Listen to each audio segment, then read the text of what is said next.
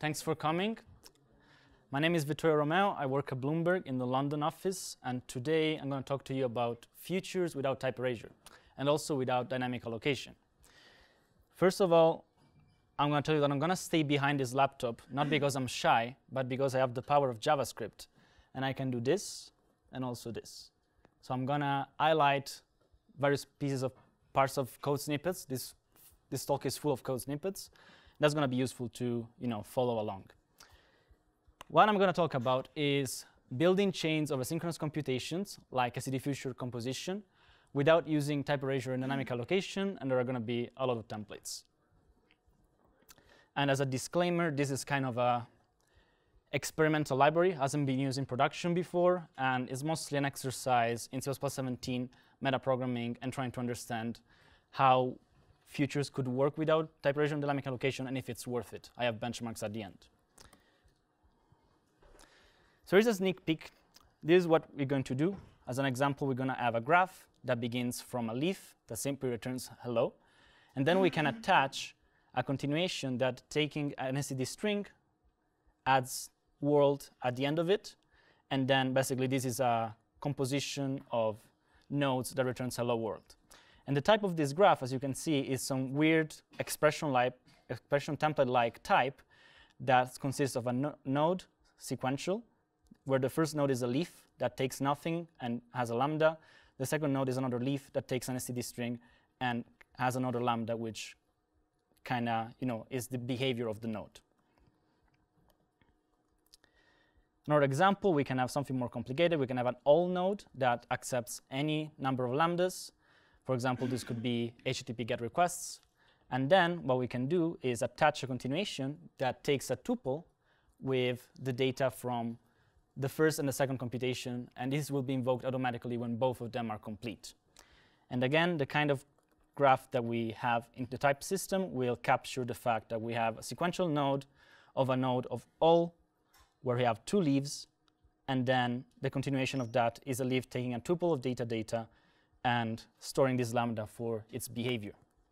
So as you can see, the goal is capturing everything into the type system and building up the graph as part of uh, this node namespace with various types. So once, let's begin from std future. And let's try to understand why I wanted to do this and if it's reasonable to do this even with the upcoming changes to std future that would introduce continuations. So first of all, we have something in the standard library called std async, which provides a way of running a function asynchronously. And what it does, it returns an std future instance that will eventually contain its result. As an example, if we have std async of launch async, which guarantees that the thing will be run in, uh, in the background, then we can sleep and print out world and we assign that to a variable f, and then we print out hello, this is guaranteed to print out hello world. And this is the way you can start an asynchronous computation in the standard library nowadays. Another thing to take notice of is that I have Wandbox links for pretty much all the code snippets in the talk.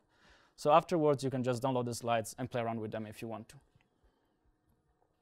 Yep? That's a really sick burn to knock off. And what you can do with future async in, in 17 is easily model multiple tasks that run in parallel. As an example, we have F0, F1, F2. We start them with async, and they have this kind of graph where they can run in parallel. And then we have this barrier at the end that represents the destructor calls to all F0, F1, and F2. And this works, it's quite useful, but it's very limited because as soon as you want to model something a little bit more complicated, such as a dependency graph where you have F0 that then spawns F1, F2, and F3. And when all of them are done, you're going to start F4. And when F3 is done as well, you're going to start F5. This is really, really hard to express with the current version of std Future, as we have no way of composing them using something like .then or when all. So when we have sequential composition, such as we start with F0 and then we run F1, what we want to express is execute F0, then execute F1. And this implies nested async calls, as we might have different executor and we want to keep going on the same executor. And the way you would write it nowadays is by having an explicit async call, does the first computation, and after it's done, you have another, another async call as does the second computation. Yes. Doesn't the uh, second async block F0 until it returns? Uh, in this example, yes. So this is light code, is not exactly accurate Okay. how the composition should be in practice. What I'm trying to point out is that we have no way of expressing this kind of thing easily in the standard library today. It'd be fine if it returned it. So similarly, if you want to collect multiple features into a single one and then attach a continuation to that, is not easy either with today's standard library. What we want to express is when all the AX features are completed, then execute B0. And a very naive way you could do this, again, this is slide code, so this is not a good way of doing this, but a very naive way you could do this is by having a future which in its body contains std-async calls to the AX computations, then waits on all of them, and then starts B0 in the body, which is horrible and is not the best way you could express this today, but I'm trying to point out that we don't have the right abstractions. So what do we want from std Future? We want abstractions that are intuitive and allow us to express composition easily. And these are already available in Boost Future. You need to define some macros after before including it, and you will get .then and when all. And we're also trying to standardize them, and we currently have an experimental future that you can play around with, which is part of the extension for concurrency TS, which I'm not sure how fast it's progressing. Um, SG1 will not, will, that will not be the design that we end up with. SG1 does not want to merge in that currently. Okay. The comment from Bryce is that SG1 doesn't like that design, so will not will not be merged. There is a great talk from by Anthony Williams at ACCU 2017, which is concurrency, parallelism, and coroutines, and he explains these extensions alongside coroutines as well, and it's really good to get an idea of what SG, SG1 has been working on and what might be in the standard, even if it's not in that particular format. So this is what Boost allows you to do.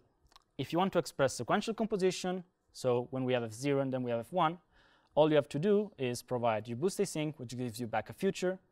You do something in the body of async, and then you can attach a continuation by saying dot then, and you provide a lambda or any kind of callable object, which will take the future, the, that the parent future as an argument, and then you can provide obviously your body. This is way nicer and works well. Similarly, if you want to express something a little bit more complicated, so A0, A1, A2, and then B0, you have this abstraction over here called boost when all that basically allows you to provide any number of futures. In this case, I'm spawning three of them. And then this when all function will return a future that will be completed when all of the futures that you passed as arguments are done.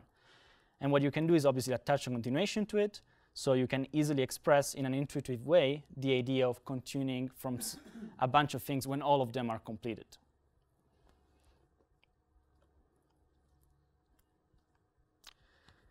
So having dot then when all, and when any allows us to express future composition intuitively.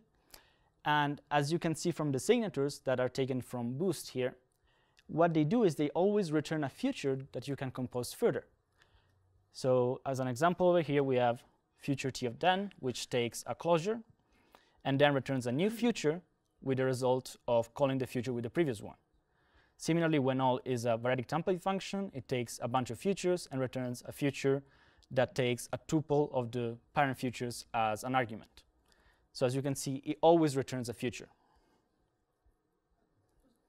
Yep. Because I've always wondered about this. Um, once you have a future and you add a dot then to it, would you ever keep around the old future? You don't keep it around, you pass it to the to what you attach in the dot then. I think you move it to the argument. Would it make sense to have this function be um, by R value reference?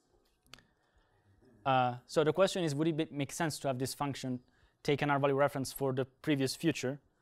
Uh, I think it would. Well, right, the the member function being by R value reference only. It's like it's yeah, yeah, it's a member function by R value reference. So You mean ref qualified? Yeah. Oh, yeah, okay. we've talked about this extensively with teachers group. I was I was sort of opposed this at first. People uh, departments, but I think it, I think we just didn't have we didn't think about building it this way um, at first. But yeah, I think it makes. Uh, I think philosophically, it makes sense, but pragmatically, all it makes you do is add to the root call. Yes, that that was that was Yeah. why I had issues. That was why I had issues with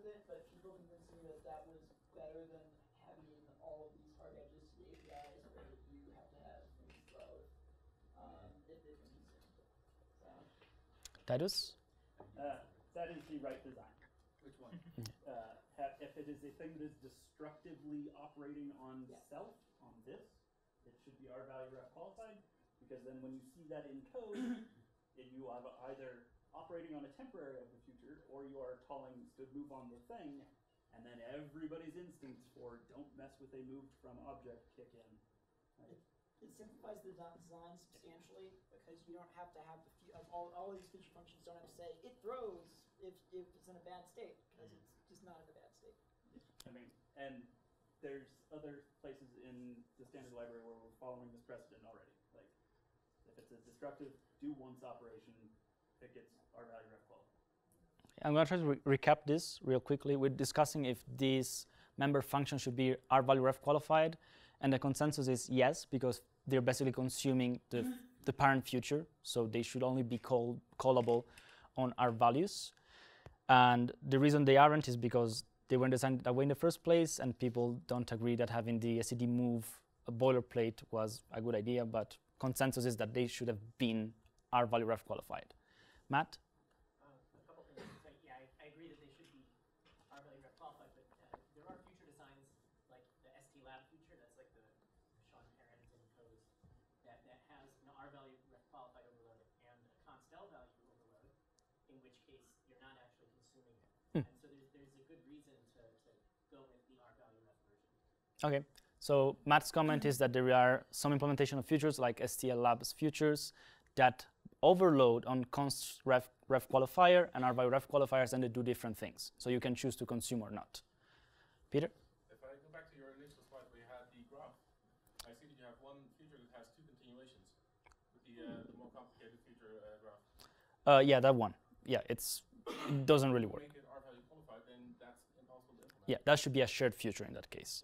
So the comment is in the previous graph where it's very complicated dependency graph, if I have two continuations from the same future, that should be a shared future in order to make it work because you can like, consume it twice, which makes sense. I'm Gonna keep going. So the, what I'm trying to say is that the result type of the future composition is always future t, and this obviously implies type erasure.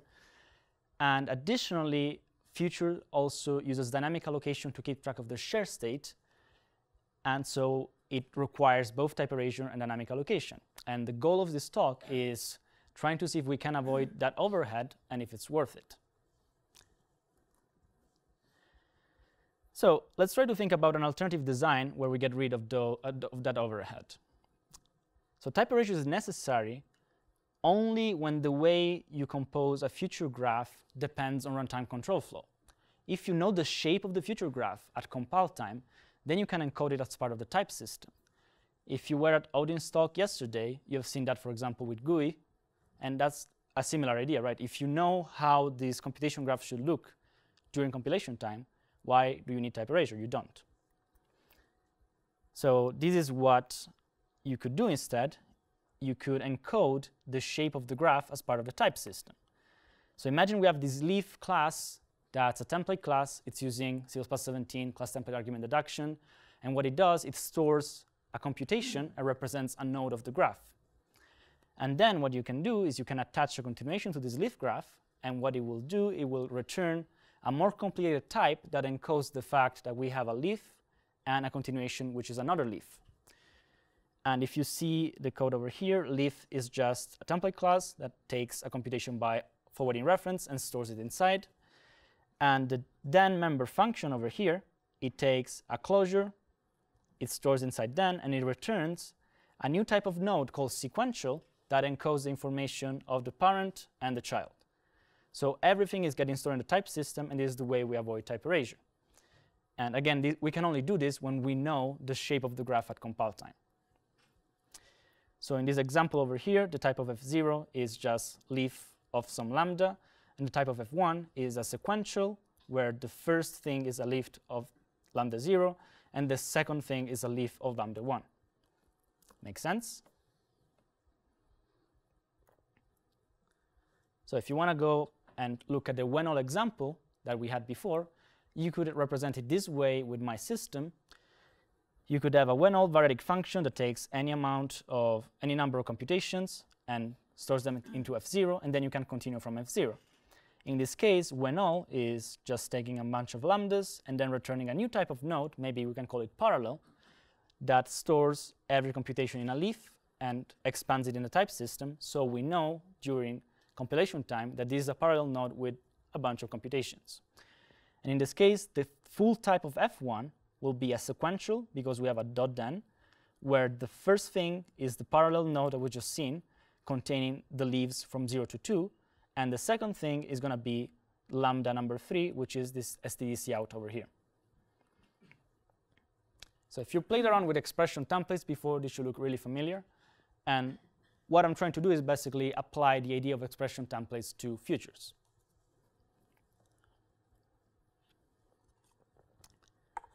So type erasure can be avoided by encoding the structure in the type system, but what about dynamic allocation? So future T uses dynamic allocation because it wants to provide a shared state for the eventual result or exception. And also, if you have something like when all and when any, which might require some additional synchronization primitives, those might go in the shared state as well. And this is what it might look like. Imagine we have future, the promise, and the shared state. And if you're not familiar with this, basically the promise is the, the producer of the value, and the future is the consumer of the value. You get a future from the promise, and they are, they are both aware of the share state, and they keep it alive. It's like a share pointer to the share state.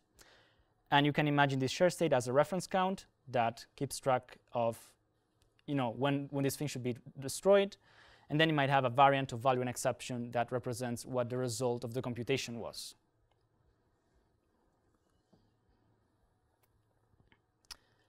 So what if we don't do this, and instead we store the, the state in place inside the final graph? Imagine like a CD string small buffer optimization, but for the shared state of a future. So my idea is let's forget about allocation, let's forget about share pointer. What we're going to do is we're going to add a restriction on how you use the graph object. The graph object must be kept alive until the execution is completed. And if we have that restriction, then we can safely store the share state inside the graph object itself on the stack. So if we tell our users, you must keep the graph in scope until the entire computation is completed, then we are free to store the share state inside the graph object. So imagine you have when all with two leaves, A and B. What we could do, for example, is have everything stored inside the graph object on the stack. We would have the first leaf with its own state, that might be a variant of value and exception. The second leaf with its own state, that might be, again, a variant of value and exception. And then we will have the parallel node, which composes leaf of A and leaf of B.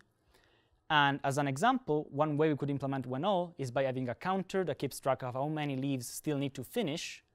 And that counter might go in the state of the parallel node, which is stored in place inside the object.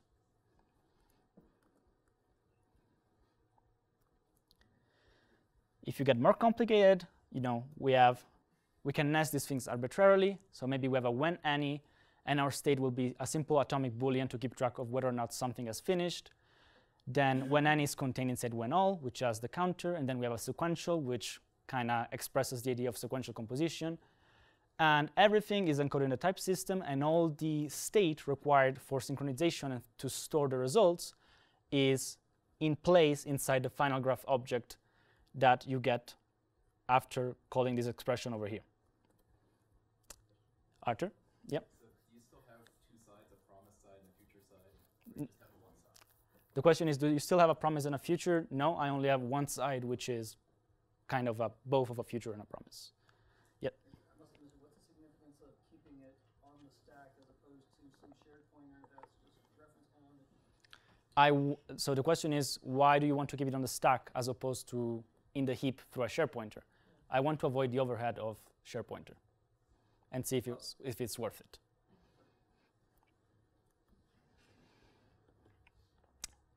So this is the, the, the, main problem is if we do this, we need to guarantee that the graph must be kept alive until the entire execution is completed.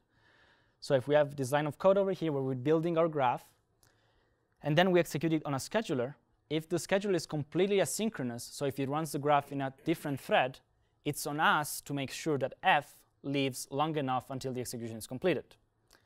Bryce. Why do you feel that that should be on the user of the API? Uh, why do you feel that that should be on the user of the API? Uh, it, it doesn't have to. You can provide an API that by default makes sure that the graph will live long enough by using a latch or something like that. I'm going to show it later.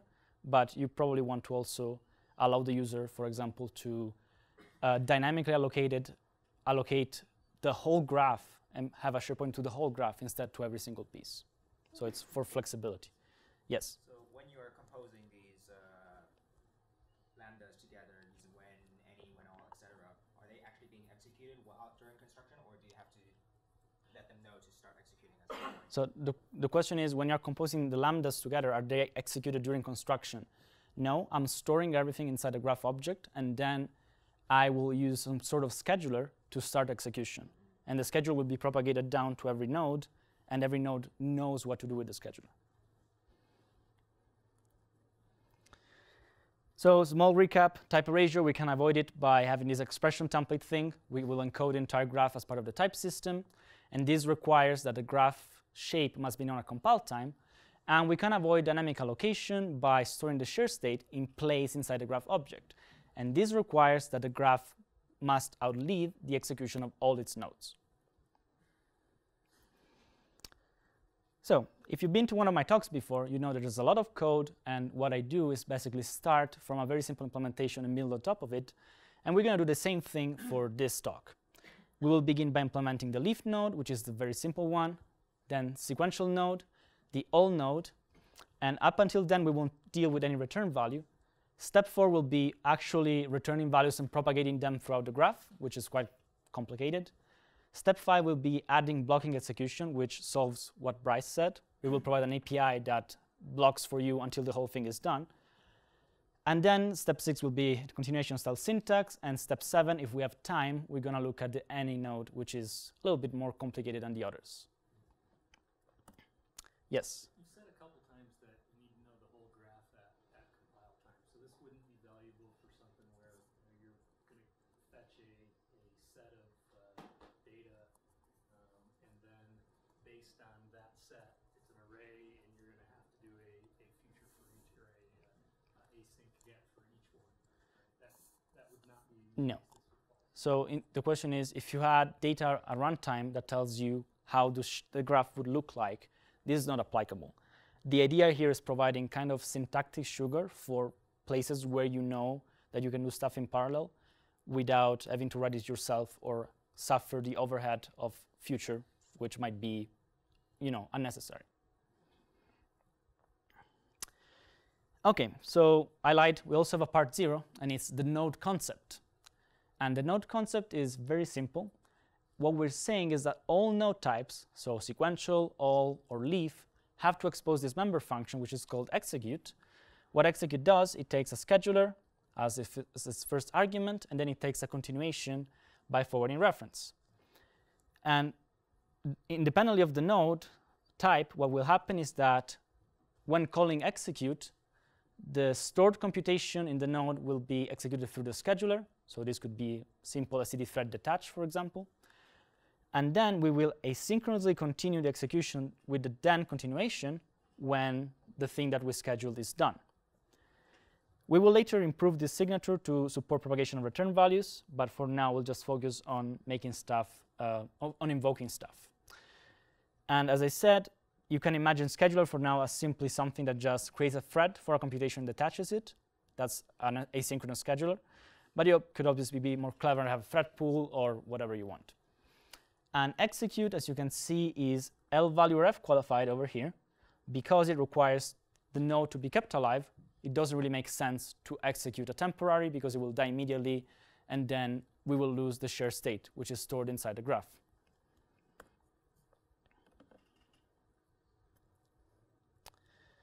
So the first node we're going to implement is the leaf node. It's very simple. What it does is wraps a single computation f. It will expose execute because it has to satisfy the node concept, but it won't make any use of the scheduler. The idea here is that we can execute a computation on the current thread without using the scheduler.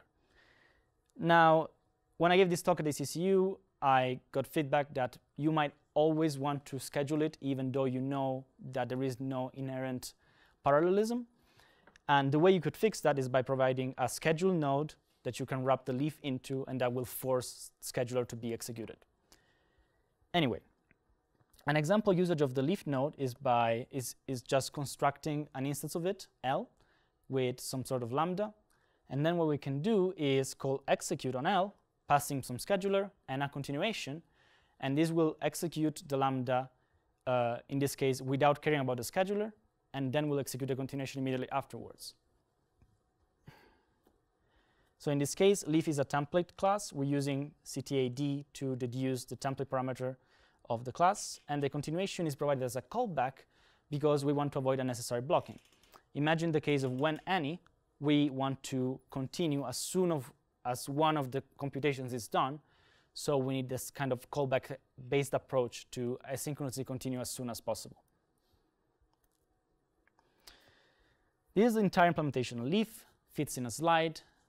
It's not that complicated. It just stores a lambda using inheritance to make use of EBO.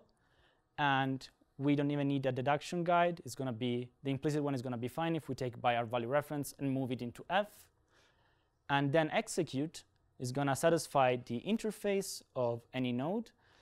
And it will simply execute the lambda that's stored inside the leaf. And then it will invoke the continuation immediately afterwards without scheduling it because there's no need to do so. We know that this thing is a sequential node.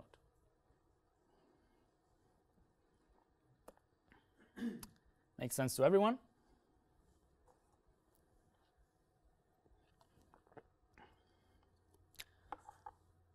Is anyone here not familiar with CS 17 class template argument deduction? Okay. So the leaf node on its own is not really useful, but it's the smallest composable piece of the graph. So let's implement sequential node next. The sequential node takes two nodes A and B as inputs. It executes A and then B. So if you imagine you have two leaves, L0 and L1, the first one prints hello, the second one prints world, then you can place them inside a sequential node by moving them in the constructor. And then when you execute the sequential node, you can provide a scheduler and a continuation. And what it will do, it will execute L0 first. Then when L0 is done, it will execute L1.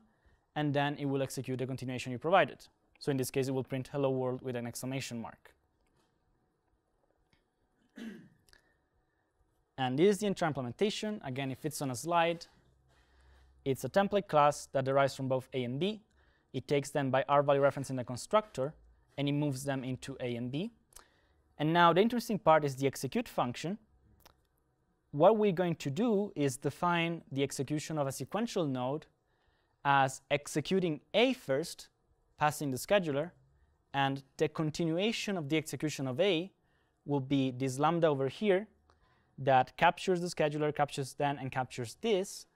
And as a continuation of A, it will execute B with the scheduler and with the then continuation that was provided by the user. So if you imagine this then being the exclamation mark lambda, it will be invoked when we finish the execution of B, which was the which was printing out world, and execution of B will be invoked when we finish with A, which was printing out hello. So this guarantees a sequential execution that works if, even if A or B are, are asynchronous nodes. Yep. Do you have to forward the then into the lambda capture at that point. Uh, if you were if you were to be completely pedantically correct, then you would capture then as an L value reference if it was an L value reference, or move it into the capture list if it was an R value reference, and then forward it into execute. But I slide code. Jason. On similar topic, why move instead of forward for your base classes? I didn't want to write a deduction guide. Okay. So the question is why do I move instead of forwarding for A and B? In this case, A and B are R value references, so they need to they don't need to be forwarded. No, and Y- A, are not. Oh, yes, they are. They are. Yeah. Yes, but in if you want it to be completely generic, you will have a templated constructor that takes TA and TB and forwards them into A and B to accept L values. But I didn't I didn't want to bother. Arthur? And as long as we're nitpicking slide code, Yes, in, a, in real code, A and B, if they are the same type, you cannot inherit from both of them, so you would tag them with some integer stuff and disambiguate them. But it doesn't really happen. Okay. So again, to make sure we are on the same page with this, the idea is that A is immediately executed, and the execution of B is passed as the then argument of the execution of A. And this allows non-blocking asynchronous composition, because if we, we were just to say A execute, semicolon, B execute, then we would have to block until A is done. and this is very important for nodes like when any, because we don't know when, we know when the, the node is completed when a single computation is done, but we are also running the other ones in the background. So as an example over here, we have leaf L0, leaf L1, sequential of L0 and L1, and then we execute it.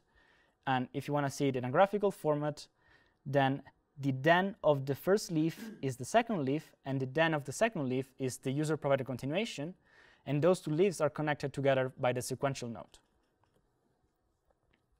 Bryce? Can you just go back a slide? Yep. Um, so uh, this is gonna sound silly, but I'm going someplace with it. So let's suppose that A and B were both going to be executed by different std threads. Right? Yep. Um, so you're executing not here Mhm. and, and elsewhere. You're executing the A operation on some thread zero. And then what you're doing here is you're executing some this little wrapper operation, this lambda that, that goes and calls the second call also on thread zero. And then that's gonna go and execute this uh, the continuation on thread one. Mhm. So what you've that this little lambda here is a bubble that you've introduced between the A and B dependency. So if, for example, if instead of between two threads, if this was between a CPU and a GPU, uh, that little bubble is unfortunate. Or um, if you think about a sequence of three operations, um, uh, or if, if both of these were on a GPU, for example, that little bubble might be running on your uh, CPU, which would be unfortunate. So the, the point that Bryce is making here is that by having the lambda over there as my asynchronous computation, I kind of have a bubble that requires to be executed in the same place where A is being executed. You want to, like, I think what you want is you want to inverse this API so that you you have an API where you call when this thing is done, then execute this thing, and that allows you to avoid the bubble. How would it look like? Like, Um, so some as some some an API where you say I I have a predecessor operation here, and Mhm. I have some work that I want to do, and once that predecessor is completed, I want you to do that work. Okay, uh, we can talk about that later. So the comment is that this API might not be optimal because taking the callback as an argument to execute forces the lambda to be executed in the same place as A, which can be unfortunate. Is for example, the scheduler is trying to move, is trying to execute A on the CPU and B on the GPU.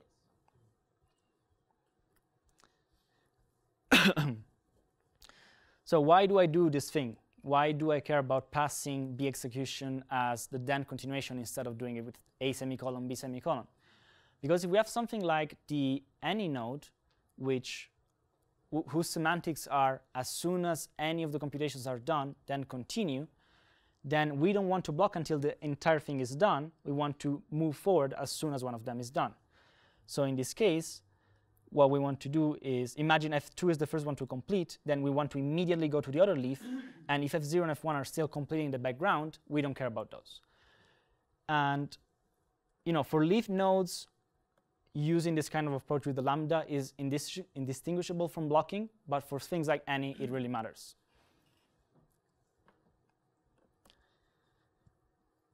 Okay, so that was the sequential node. Now we'll move on to the all node. And this will be the first one to make use of the scheduler because as we've seen before, the leaf doesn't care about it and sequential simply propagates it down to A and B, but it's not actually using it. So what the all node will do is it will take an arbitrary number of nodes as an input, it will execute all of the nodes in parallel, and we will define completion of the all node when all the DFS are completed. So what we can do is create a all node called graph we can create it from three leaves, A0, A1, and A2. Then we can execute it on some scheduler, passing a continuation, which is in this case is b0.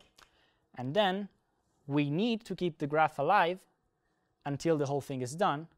So we have a production ready sleep over here that will make sure the graph will be alive until it needs to be. We will fix this later. We will provide a nice API that blocks until everything is done, but for now the sleep is good enough. And this is how it works.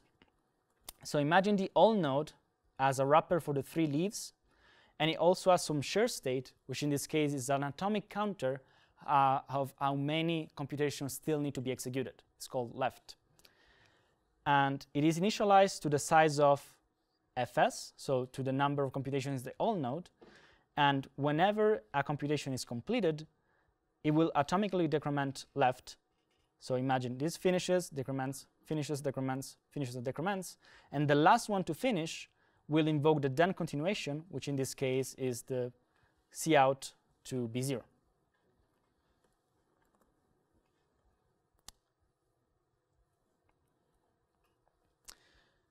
So the way it works is that the all fs node contains an atomic counter initialized to the size of fs. It keeps track of how many nodes need to complete their execution, and when it reaches zero, the then continuation of the all node is executed. And every node in fs decrements the counter upon completion. And since the nodes can be executed on separate threads, this whole thing needs to, needs to be kept alive until all the nodes are finished. And this is why we have the sleep which is temporary solution. So how do we implement this? Well, first of all, we are going to have a, a variadic template class called all, which takes the computation as template parameters, and we store them by inheritance, not just for EBO, but this really makes it easier to work with FS as a pack when we want to expand it inside execute. And then for now, you can imagine we have this atomic int as part of all state, we move everything into the storage, and then we have our executor we're going to implement later. Bryce, you had a comment? No? These are how the execute looks like. The first thing is we atomically store the size of fs into the atomic counter. And I'm not doing this in construction because atomic construction is not atomic.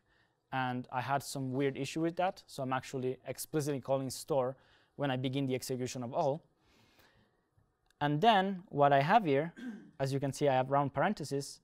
This whole thing is a fold expression over the comma operator where I'm folding over the fs pack over here. And what I'm doing is basically capturing every single computation as by reference inside this lambda with the name f and then I'm passing this lambda to the scheduler. So I'm, I'm asking the scheduler, please execute this lambda however you want. And what I'm doing is inside the body of the lambda, I'm calling f.execute, which defers the execution of a node to the actual node type. And I'm passing the scheduler, and the continuation of the execution of f will decrement the counter by 1, and will also check if it was the last one to decrement the counter. And in that case, it will execute then, which is the continuation of the all node. So I'm going to break this, this down in the following slides, but it's the general idea understood? I really like that fold expression. Okay, so this entire snippet, as I said, is a fold expression over the comma operator, and in short, what it's doing, it's scheduling the execution of every f in fs. And what we're also saying is that as soon as an f is done, we want to decrement the counter as part of the then continuation of f, and the last f will execute the then continuation of the all node.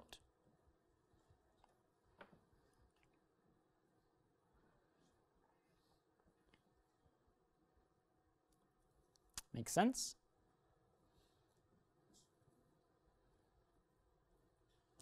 So this is an example expansion for two hypothetical A and B nodes. Imagine we have only two nodes in this all parallel node. The first thing what would be expanded is a store of two in the left counter. And then we will have this comma over here, that's the expansion of the fold expression, with two calls to the scheduler, where the first one captures A by reference, the second one captures B by reference, and each one of them will execute the corresponding node, attaching the same continuation, which will decrement the counter and call then if it's the last one.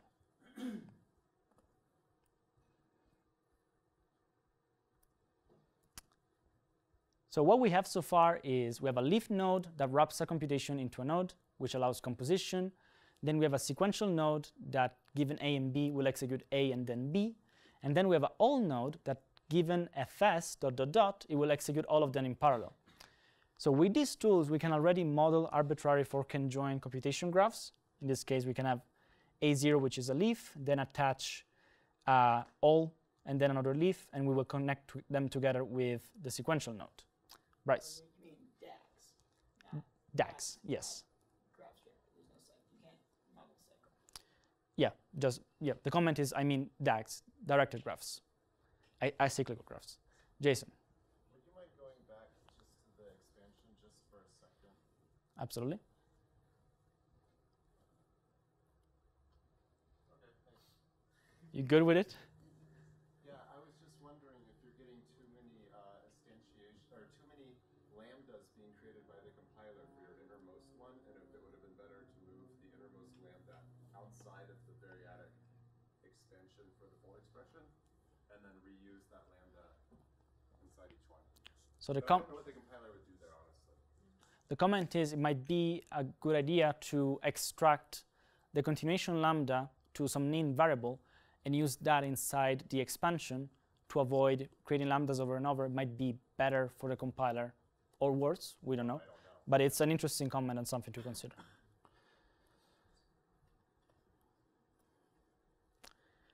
So as an example, if we want to model the thing we've seen on the previous slide, we will use this beautiful nested syntax where we have a sequential node of a sequential node of a leaf continued by an all, and then finally we have another leaf. And that allows us to express any arbitrary DAG using this kind of expression template thing. So we cannot still return values from a node and pass them outwards, which is kind of a bummer because we really like to do that with the std future. So that's what we're going to deal with next. So the execution of any graph always begins from a leaf. Even if you're starting from an all node, the all node itself will contain leaves, so we always begin from a leaf. So leaf nodes must be able to both produce and accept values. Imagine you have a sequential node, the first leaf will produce an int, and the second one will accept an int and produce a string, for example. Composition nodes, such as the sequential one or the all node, must be aware of what values their children are producing because they need to be able to store the results somehow. And again, this information can all be encoded as part of the type system. So let's begin with leaf. Every node will have an in type and out type type alias. The in type represents what the nodes get in, and the out type what the node produces. In the case of leaf, we, we need to be explicit about what it's going to produce as we have no way of deducing it. So what we're doing it is adding a new template parameter over here, in, which will be aliased to in type. And the out type can be deduced by simply computing the result of calling f, which is the computation stored inside the leaf, with uh, the input type, which is in. So now that we added this new in template parameter, we still wanted to play nicely with class template argument deduction. Otherwise, creating leaves will be pretty painful. So class template argument deduction doesn't support partial deduction, so we need to provide a deduction guide that will inform the compiler how we want this thing to be deduced. And we also still want to be able to use lambdas. So my, my solution here is to use a combination of boost callable traits and some very simple metaprogramming to extract the first argument of the call operator of a lambda and give that to the leaf as the in argument. So as you can see, we're going to have a deduction guide that takes f, which is the lambda, and the in input argument of the leaf will be deduced by looking at the first argument type of the lambda's operator call, and the second type, which is actually the lambda itself, will be just the dkt of f, as here we have a forwarding reference. And the first argument t alias is just a call to a std tuple element t with the second argument of boost callable traits arguments of f. In this case, it's the second argument because the first argument is the implicit this parameter. So what's happening here is that argst returns a tuple containing all the argument types of f, and if f is a callable, the first type is the type of the object itself. And we're just extracting the actual argument. Louis? Why did you say uh, of f, well, of f uh, instead of just saying f? Uh, yeah, so you mean taking f by value? Or Uh, I mean, why do you extract the operator friends, the address of the operator, operator friends, as opposed to just, uh, just, just saying f? Oh, um, the question is why do we extract the operator parens instead of saying f? I think that's what args_t requires.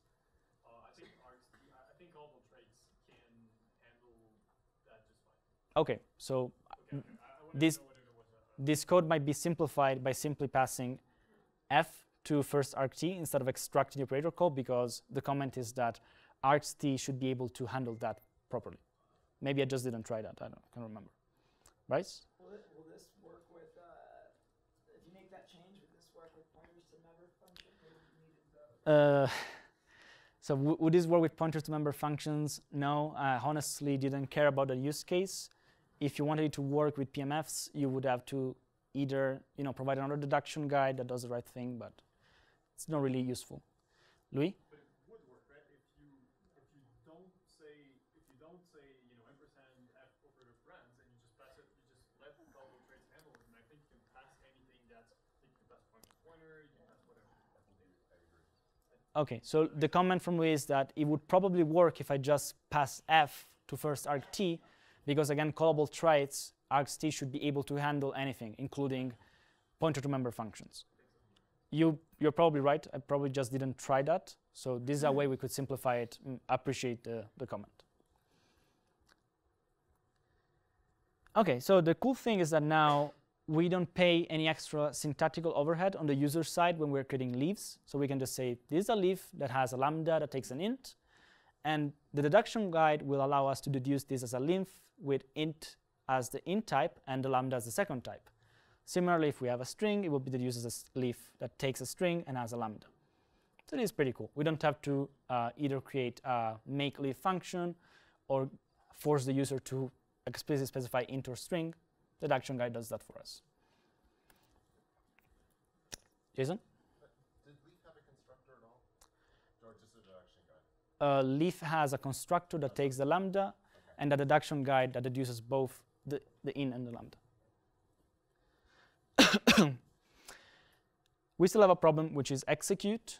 Execute still looks like this. And the issue here is that now the lambda takes an argument. So what do we pass as our argument inside execute? And if you think about it, leaf can be you know the beginning of our graph. It could be in the middle of our graph. It could be accepting another value. So we don't know what this thing is going to get. So the only reasonable way of making this generic enough is to add an input parameter in execute and have the parent of leaf deal with that. So what we do is we change the the concept of the of execute for nodes and we accept an input parameter you have a question Yes. Um, is, is there still any way to do a leaf that doesn't take a parameter? Is there any way of doing a leaf that doesn't take a parameter? That would be a leaf of void, but we know that void is annoying. So the way I solve this in my library is by having a type that's called nothing and some metaprogramming ugliness that converts void to nothing and returns nothing instead of void. And it kind of simulates regular void. It's not great. And there is a proposal about regular void that should fix this by making void act like a normal type in the language. I don't think it's moving forward anymore. Does it, anybody know? Somebody, somebody has decided to work on an implementation in the committee. Okay. It'll come back. So Matt, No idea if it will. get accepted. so Matt, which is the author of regular void, claims that someone is working on implementation and might come back to committee or not. Anyway, so what we're doing here is since leaf might accept a value, we need to accept it as part of execute so that the parent of leaf can provide it to this node. And we're changing the concept of our nodes to and every, every node type will have this input parameter now. What we do is instead of calling the first one and then the then continuation, we will invoke the lambda stored inside the leaf by forwarding whatever we got as an input, and then the result of this thing will be passed to the continuation, which is then. So we are composing them by uh, piping the output of the lambda as the input of the then continuation. Example usage is we have this leaf over here that takes an int and returns the int multiplied by 2. Then we can invoke execute with some scheduler. We pass 10, 21 as our input, and then we provide a continuation that takes an int and prints it out to a std cout, and this will print out 42.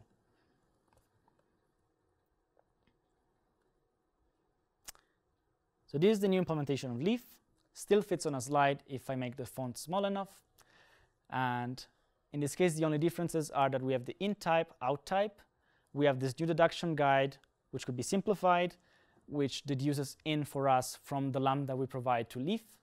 And then our execute is piping together the result of the lambda as the input of the then continuation.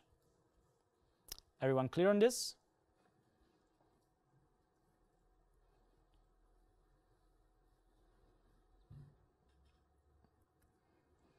Okay, so all the other node types will require the same modifications.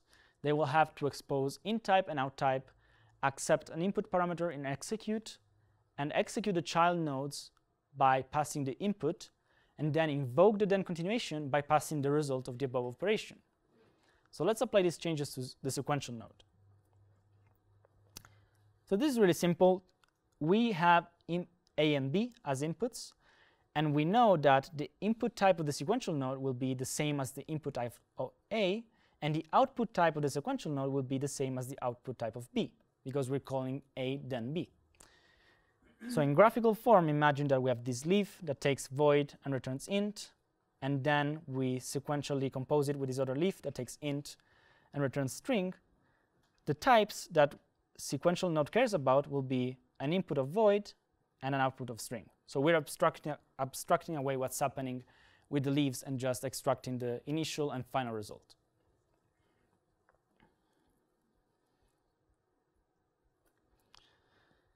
And what we, what's above in this slide is what we had before, and below is what it becomes after the changes.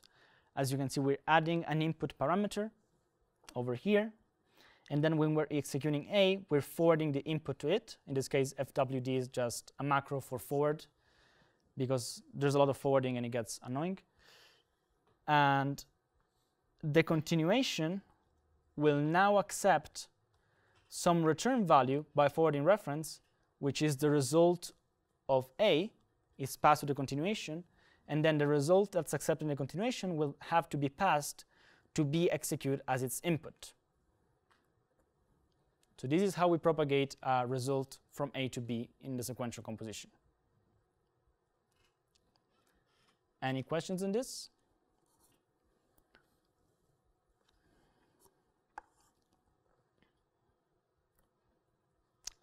So usage example, we have a sequential node of two leaves. The first one takes an int and returns int multiplied by 2, and the second one just converts it to a string. Then we can call graph.execute with some scheduler 21 as our input, and then a continuation that accepts a string and prints it out to std cout. And in this case, this will correctly propagate 21 multiplied by 2, convert it to a string, and then print it out.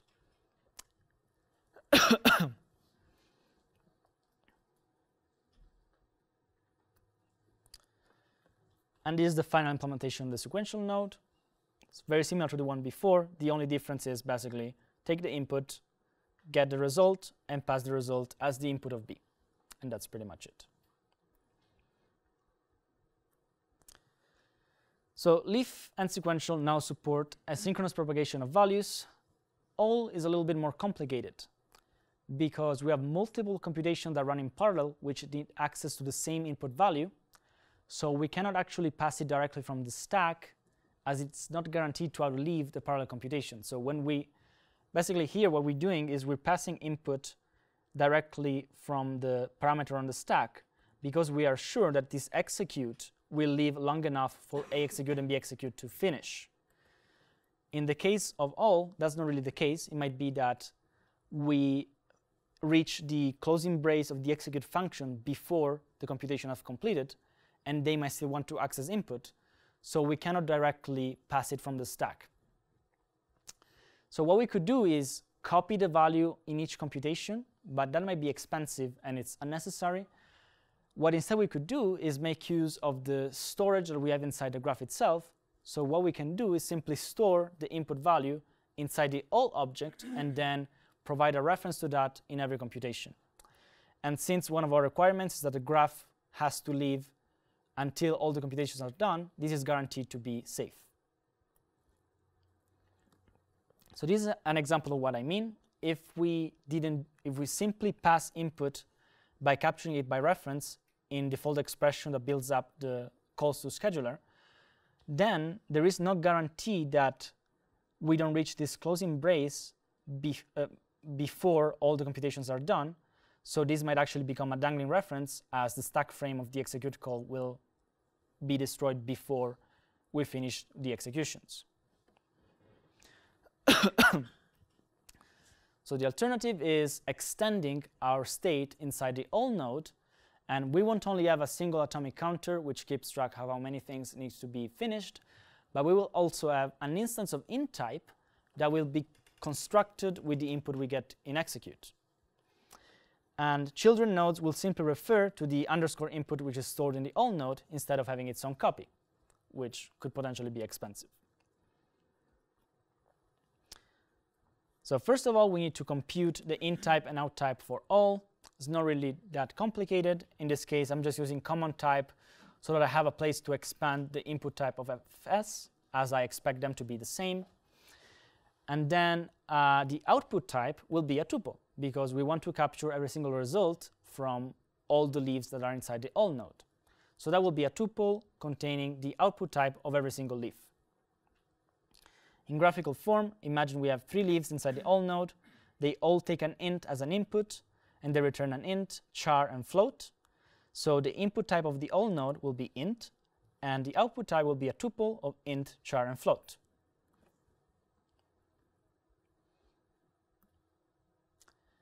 And this will be our new share state, which is stored inside the all node. And what we'll have is the in-type input, which is what we'll get from execute, and we can store it there so that all the computation can refer to it safely. The atomic counter, and then some constructor that, given the input, forwards it into the input data member, and also does the atomic store for us.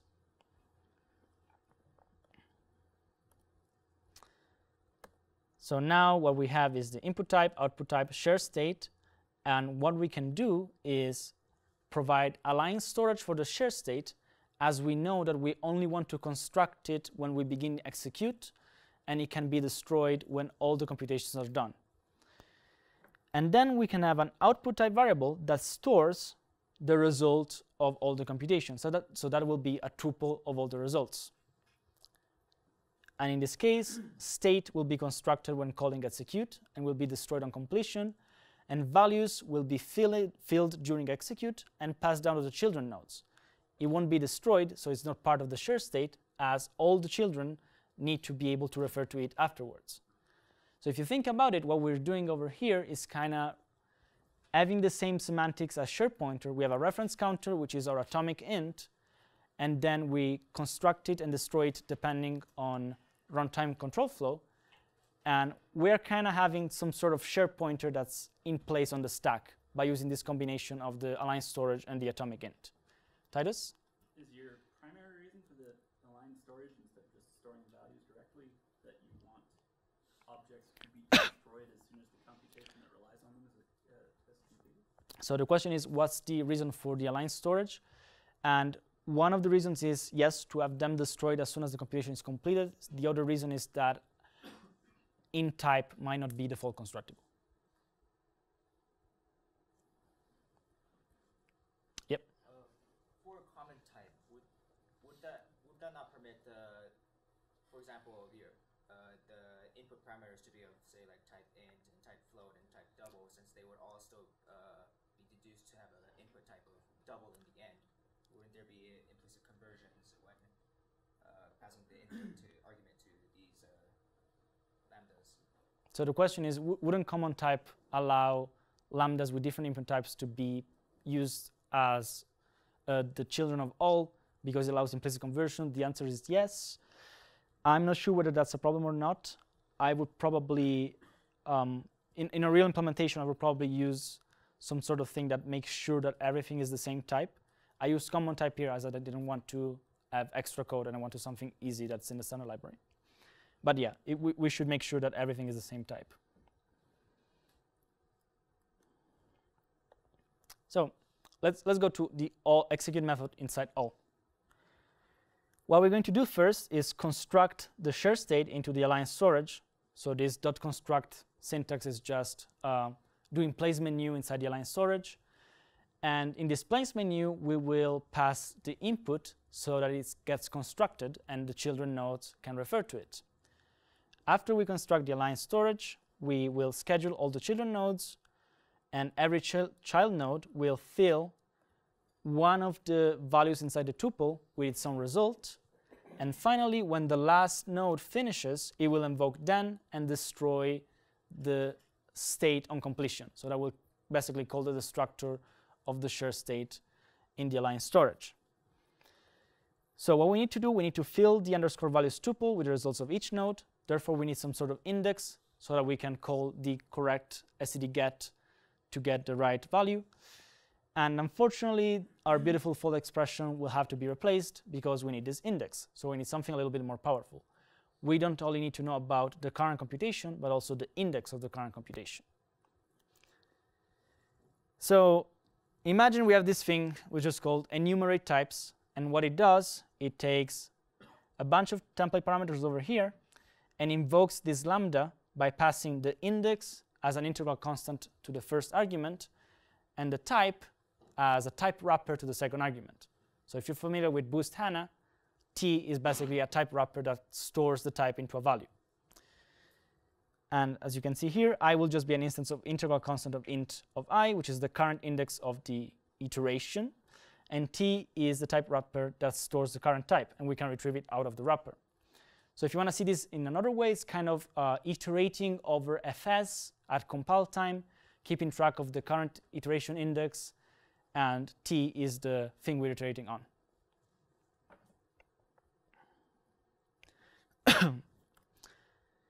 so now that we're doing this, what we have to do is schedule all of our computations. In this case, what we can do is retrieve the current computation as we did before inside f, which is captured by reference in the lambda. And the way we retrieve it is by first unwrapping the type that's stored inside t. So t is the type wrapper that contains an alias which uh, stores the type. We can unwrap that alias and get the type out of the wrapper. So in this case, it will be f0, f1, f2. And then we can static cast ourselves to f0ref. So we will get one of our base classes. If you remember, what we're doing is uh, deriving from all the fs computations, and we can capture that as f. So in short, f in the lambda evaluates to this, casted to the types in fs of the current iteration. That's what this thing is doing. Now, once we have f, what we can do is execute it on the same scheduler, and we can pass the input, this time as an L value, because it can be shared between all the computations, assuming that it's const. And the continuation will again be a lambda that captures the continuation of the all node and accepts a result for each function f that's going to be executed in parallel. One more step. Now what we need to do is, remember R is the result of one of the computations. We need to place that result in the correct spot in the tuple so that children of all can access it later on. So how do we know the correct spot in the tuple? We have an index over here, which is given to us by enumerate types. This is an integral constant, so we can access std_get with the decltype of i default constructed, which is a silly way of saying use i as a constant expression. Inside values, which is our tuple, which is currently empty, and then we can assign the value inside the tuple by forwarding the result that we got from the F computation. And then we still need to decrement the atomic counter, which keeps track of how many things are left. And the last computation to finish will destroy the share state to make sure that the destructor of the input type is well behaved. And then we'll invoke the then continuation by moving the tuple of values into it.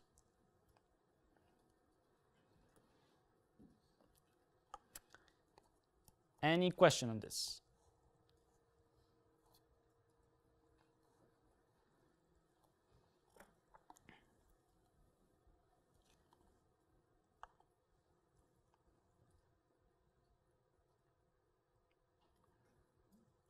Usage example, we can have an all node that has three leaves. They all take an int and they return x, x plus 1, x plus 2. And we can have a sequential composition of this all node with a leaf that takes a tuple of int, int, int. And then we can sum all of the values inside the tuple. And the way we can start the execution of this graph is by calling dot .execute with a scheduler, an input type 0, and then providing continuation. In this case, we're just going to print out the final result to std cout. Now we have 0 over here. 0 will be given to every leaf, so it will return 0, return 0 plus 1, 0 plus 2. So li this leaf over here will have a tuple containing 0, 1, and 2, and the final result will be 3, which will be printed out to std cout.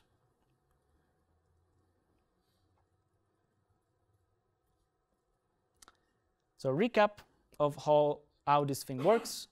We have this all node which has an input and an atomic counter stored in place inside the share state, which is constructed when we call execute and destroyed on completion. So conceptually, you can think of this as a share pointer that's stored on the stack and is reference counted from, uh, by the computations that are executed in parallel. The output values are stored in a tuple, which is a tuple of every return type of the children this again lives in place inside a node. It is filled by enumerating over fs dot dot compile time, and the last computation to finish will invoke then with a tuple. So we'll pass the tuple as a continuation result. And if you wanted to, while we enumerate fs, and we know that maybe our scheduler is simply a thread pool or an STD thread detach, we could say if i equals to 0, then don't schedule the, uh, the current computation. So we can save a thread by executing one of the computations on the current thread, which is something that you might want to do depending on what kind of schedule you have.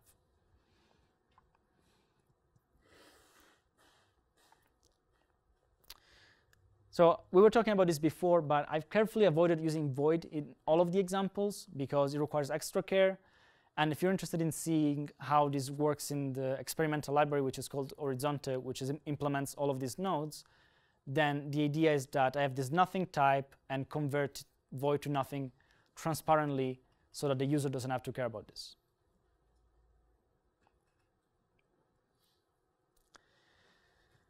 Any questions so far? We, this is kind of the bulk of the talk, implementing these nodes and understanding how to propagate the return value. Now we're going to get into some nicer details, such as avoiding the need for the sleep and having nice dot-then continuation syntax, and then any if we have time.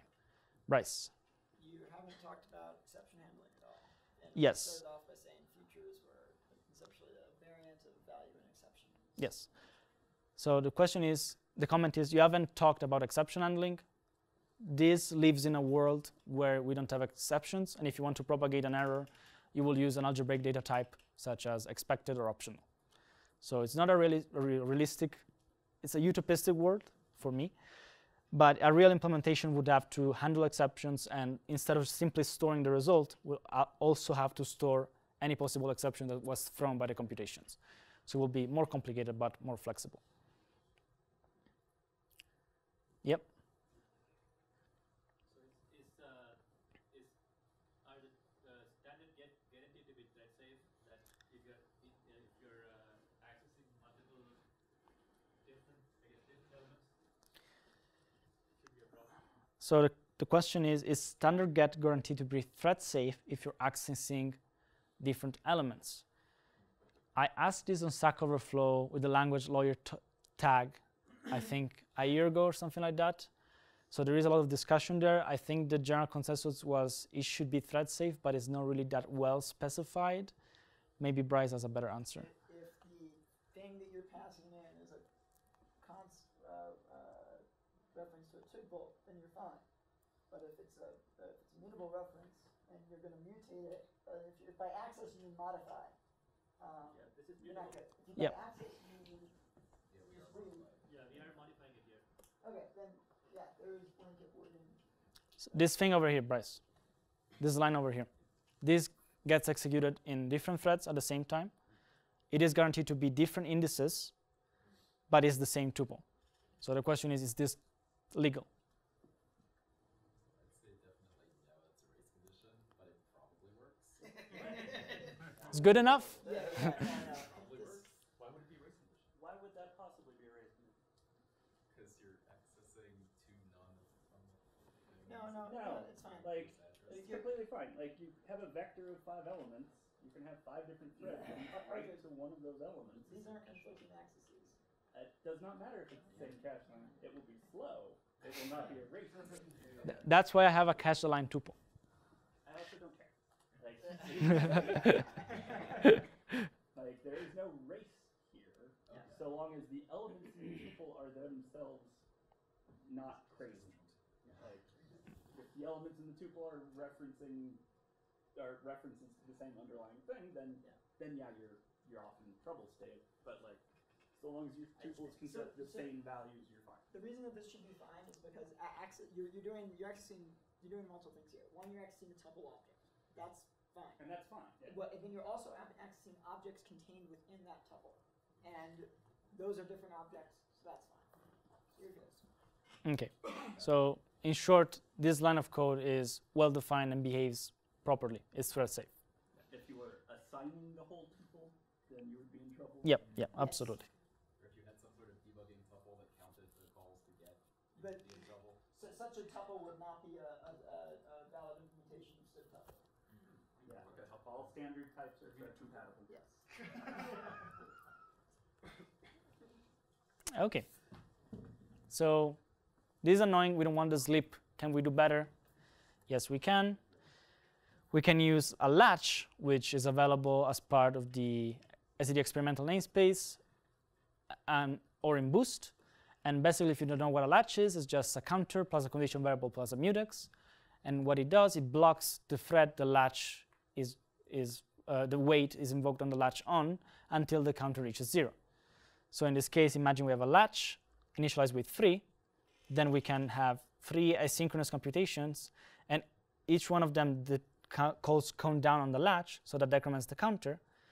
And then we call l.wait on the main thread, and this is guaranteed to block until the counter reaches zero. So this is what we'll do for our own uh, graph. We will create a sync execute abst- abstraction that, given a graph, will block until the whole thing is completed. So this is what it looks like. It takes a scheduler, a graph, and a then continuation. It will create a latch with counter of 1. It will then call execute on the graph, passing the scheduler, nothing as the input, which could be void.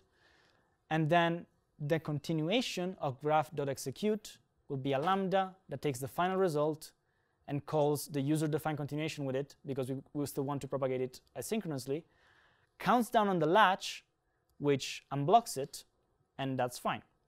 And what we will do is we will wait as part of the call to sync execute, and this guarantees that the graph will live long enough.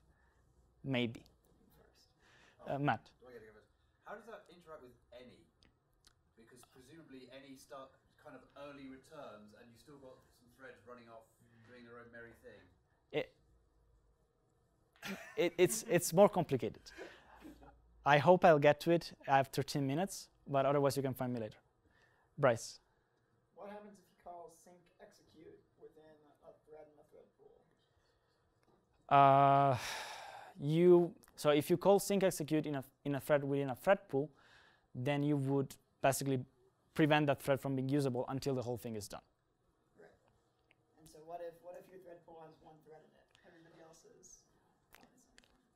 yeah, if your thread pool has only one thread and you call this in your thread pool and you are scheduling things on the same thread pool, then you're, you're screwed.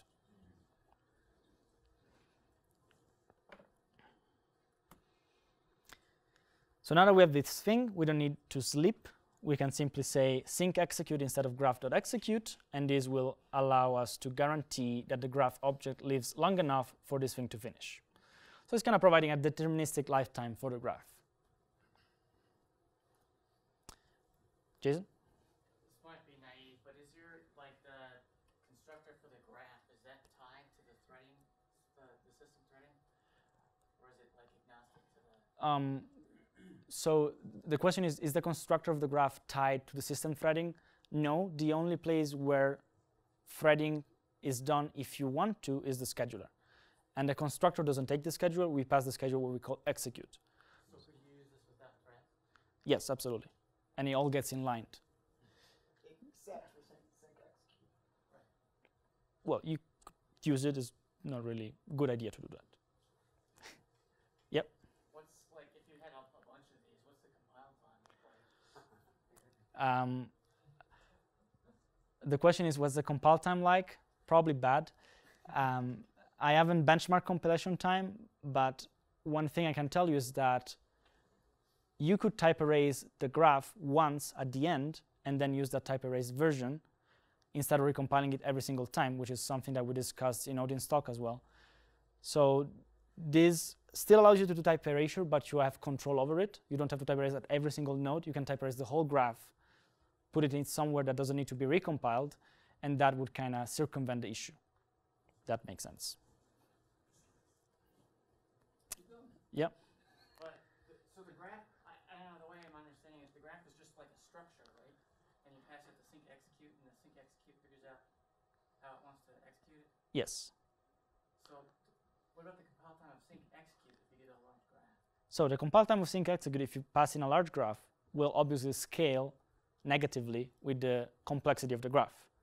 But what I'm trying to say is that as long as you have something that conforms to graph's interface, so as long as you have something that simply you can call execute upon, then it doesn't matter what the type is. So if you were concerned about compilation time of a particular graph, you could create your graph somewhere, type erase it, and then pass the type erase version to sync execute. Make sense?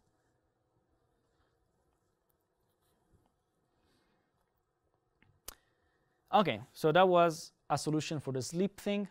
Now I'm going to ask you which one is better between the two. If you say if you say one, you're wrong. So we want to implement the second one, which is the dot then syntax, which allows us to read from left to right, and so expresses very intuitively the chain of computations. It's not hard to implement. What we can do is add a then member function to every node type. We could obviously abstract this away by having inheritance or whatever. But imagine we simply add it to every node type. It will be called then, returns auto, because it will return the complicated graph type. And it takes an x, which is uh, either a closure or a node by forwarding reference. And the semantics here are that if x is a node, then then will return a sequential node of std move of this and x. Otherwise, if x is not a node, so if it's just a lambda, it will do the same thing, but automatically wrap into a leaf for you. So we prevent the user from having to say leaf, leaf, leaf all the time. We do the wrapping for them as a little bit of syntactic sugar. And we can implement it with if constexpr. So the idea is that we simply check if the thing that is being passed in is executable. So if it exposes a dot .execute method that conforms to the node concept. If it does, then we simply return a sequential node of ourselves and uh, x forwarded. Otherwise, we're going to assume that this thing is just a callable object, and we're going to do the same thing, return a sequential of ourselves and x, but wrapped inside of a leaf. So we are automatically doing a wrapping for the user as syntactic sugar. And is executable can be implemented with the detection idiom or other techniques just to make sure that X exposes execute or not. So now we can write something like this, which is a little bit nicer. We can have a leaf of then, which is the start of our graph. Then we provide a closure without having to say leaf that just multiplies the value by 2. And also we can use then with a complicated node such as all. And in this case, we can provide two leaves that do different things. And then we can attach a final continuation that takes the tuple and computes some final result. So this is a nice way of making the syntax a little bit nicer. If you wanted to, you could also provide versions that do the whole thing for you as well without having to provide leaves, but it's just uh, syntactic sugar. Yes? Are you going to have dot catch? So the question is, are you going to have dot catch? If this thing supported exceptions and correctly propagated them all the way down, then dot catch would be a great idea to allow error handling at the end of the chain.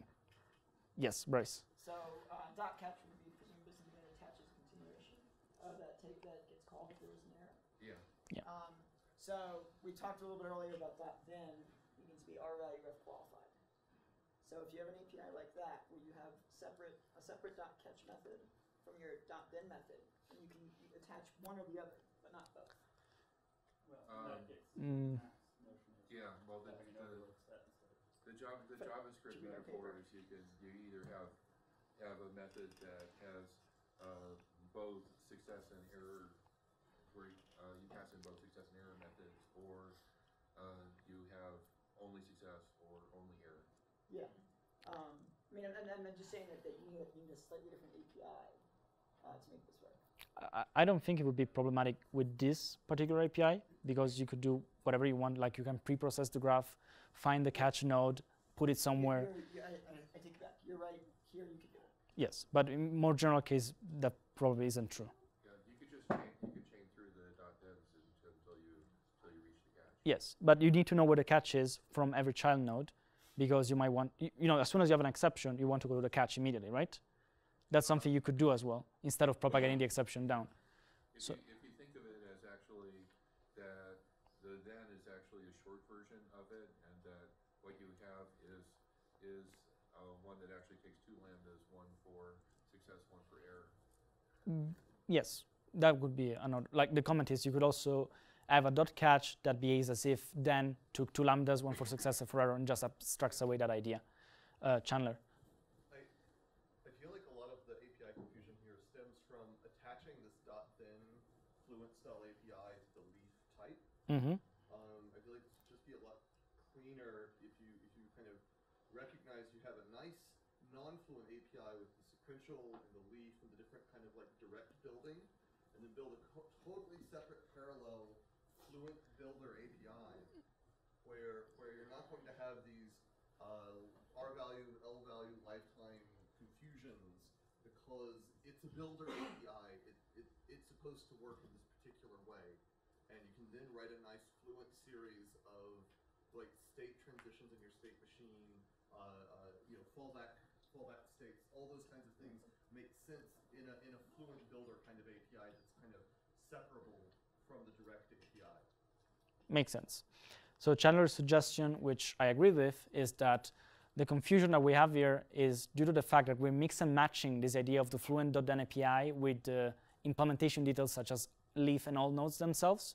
So a better idea and a more flexible way of doing this would be having a completely separate builder API that's Fluent style, which produces something like leaf, all, etc., etc., but it's completely separate from it. It's not mix and matching the two things. And it could also be a good idea so you can pre-process the builder API and kind of apply optimization and stuff like that. Bryce. So the, the problem with taking two continuations instead of what Titus suggested is suppose you want to, you have like an error va- uh, value lambda and error lambda and you want to move capture from the scope where you uh, attach. Um, and you want to have that move captured value available in both lambdas, well, that's not going to work. If you have just one function, um, then it would work. I'm not going to repeat that.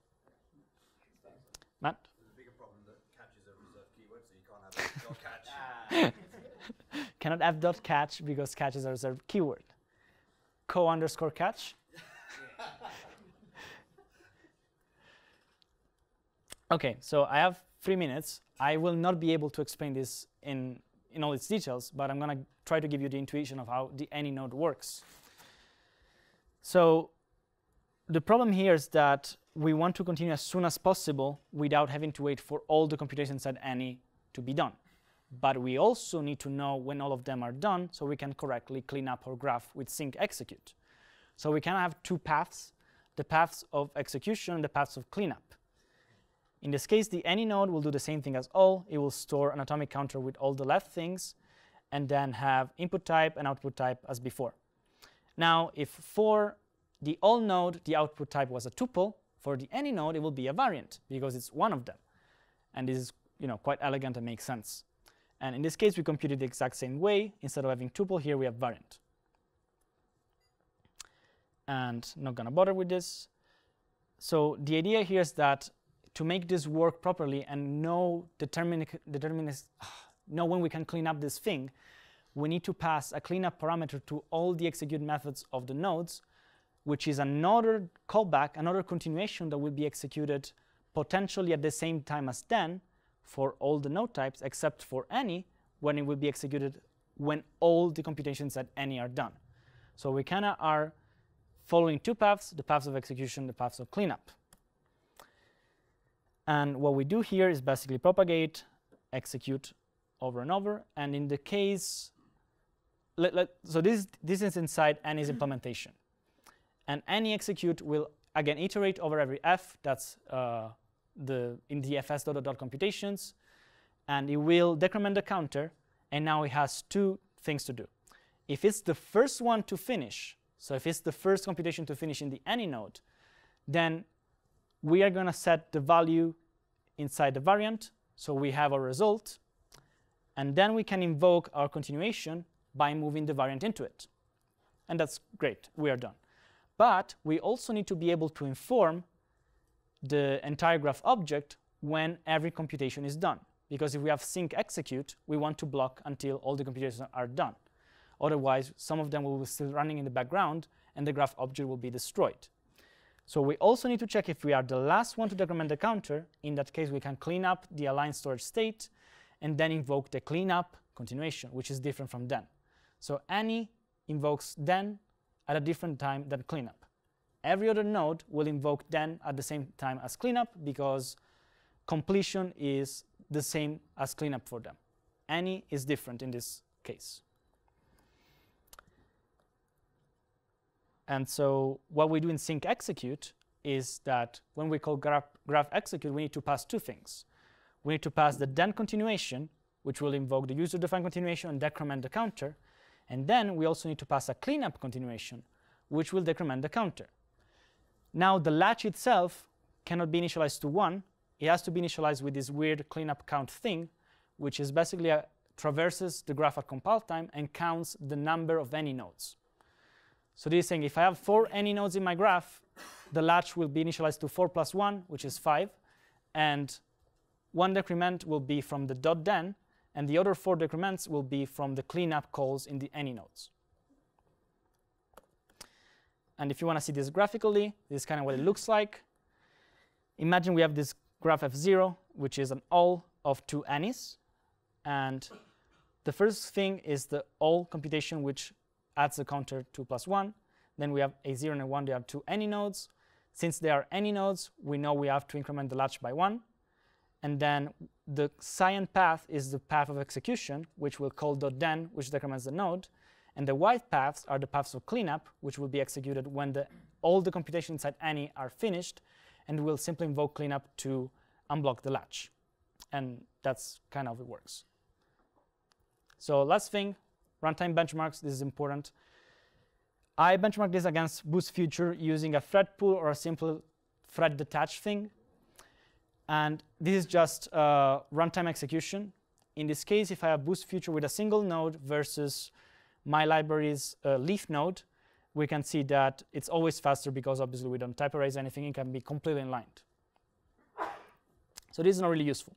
What happens is that as soon as we add more continuations, then the gap between Boost Future and my library gets bigger and bigger. In this case, if we have a.then then B dot C, then we see a huge gap over here. And the reason is that dot .then in my case is completely in line and doesn't have to run on separate threads.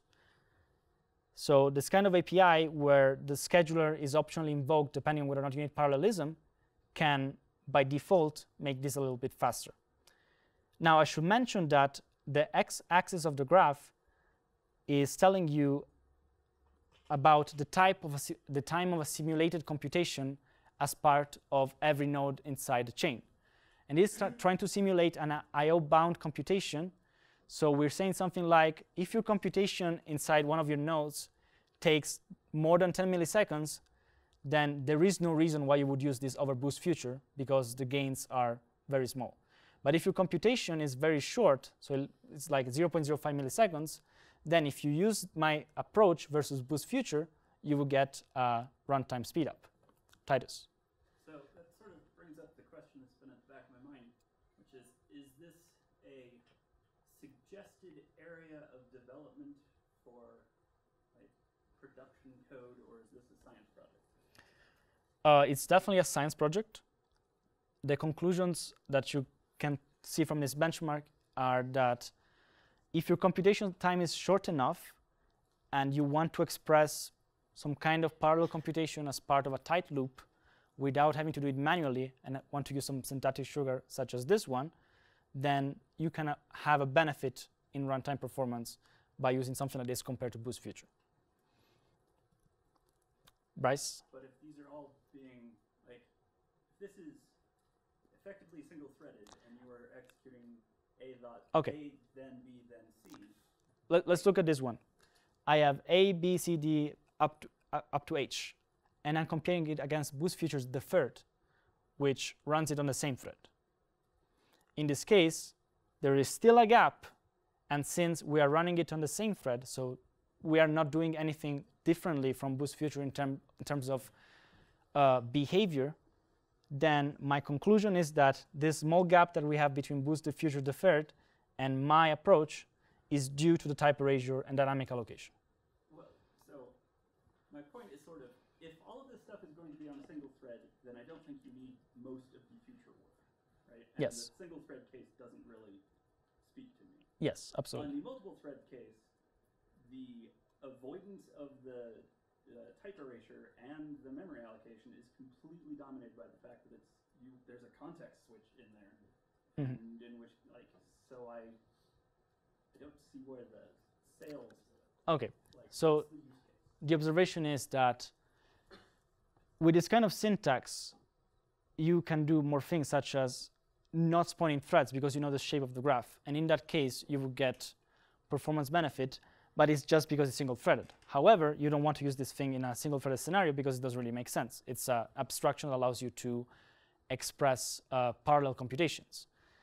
And the comment is even though you might see a very small benefit due to the, the lack of type erasure and dynamic allocation, then that is completely dominated by the fact that you have context switches in your multi-threaded scenario. So is, is it worth it?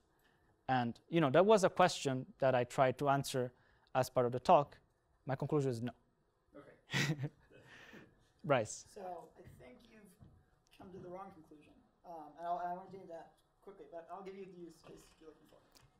Let's say that you wanted to send a bunch of work to some sort of accelerator. And each API call of sending work was expensive. So that particular API preferred you sending work in bulk. Without his lazy model here, if you built this with like std future, like concurrency TSV1 uh, futures, how many times do you launch work in this continuation chain? Once for each dot then.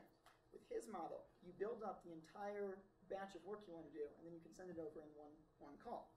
We've recently announced that an API that is essentially isomorphic to this. So I'm, I'm fairly confident that this design is um, very useful. Now, it's, it's not useful in all cases, but it gives you the ability to have your execution graphs ahead of time to be able to optimize it, um, and then to be able to amortize your the, the uh, your calls to your scheduler API. I think that brings up basically what David was saying last night of like if you have a particular case, like you can build a particular data type that's going to handle that case bonkers well. Like if your issue is I need to not dispatch work too often, like okay. Um, it also like, gives you don't need to build a whole asynchronous It also computation framework to happen in one thread. That that is that is work. one step, but it also gives you the opportunity to optimize the graph and to be able to reuse the graph multiple times. So in this in this slide here, um, how many times are you calling?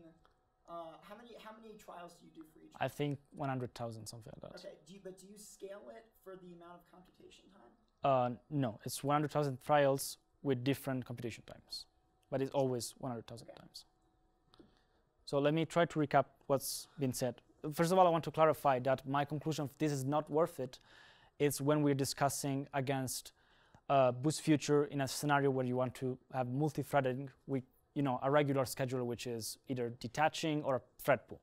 If you have different type of scheduler, Bryce's comment was that having the information about the chains as part of the type system could allow you to batch the work in advance to the scheduler, and that might be a huge benefit if every single API call on the scheduler is expensive itself, and also having the graph information in the type system could allow you to do some pre-processing on the graph and optimize it before executing it, which might be a good idea. Titus' counterpoint was, sure, but do you need an asynchronous framework to do that? If you know what you're trying to do, you can just represent it yourself. And then that's kind of, you know, it's very subjective. If we have this, then why not? But it's, it's very subjective. Chandler. I don't actually agree with Titus Yeah. that the cost of memory allocation will be dominated by the context switch. I think that is an interesting theory, but I don't think we have enough evidence to know that that will be the case in practical systems. And so I'm actually still quite interested in this just in the normal multi-threaded case. Okay. I, So- I think we're, we're overestimating the cost of context switches and the number of context switches that will be required. And I think we're underestimating the number of allocations that will end up being saved. Ten- TensorFlow is an application that would benefit from this. In fact, they have this model. So Chandler disagrees with Titus. It says that even in the normal multi-threaded scenario, we might be overestimating the, the cost of a context switch, and maybe doesn't happen as often as we think it is. So actually, having less overhead due to dynamic allocation and type erasure might still be useful in that scenario. Uh, Jens. So one question that comes to my mind is how much better would your implementation be if you're not having this tuple, which is basically your your central lock-free cache uh, co- contention among every thread? My, m- okay, my real the question is, how much better would it be if my implementation didn't use tuple because tuple is everything in the same cache line. My real implementation uses a cache line tuple which aligns every single element to a different cache line. So these benchmarks over here are using a cache line tuple. Uh, Arthur? Also, these benchmarks here, if the top isn't YA, don't use tuple at all, but just then, then, then, then. Uh, I have more. I have more. I have more. I have more benchmarks, but I have I, but I have no more time. So please find me later. Thank you.